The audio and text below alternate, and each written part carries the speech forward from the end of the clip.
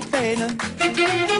Se tu ne parla piezza americano, quando si parla amore sotto la luna, come te vengono di vedere I love you.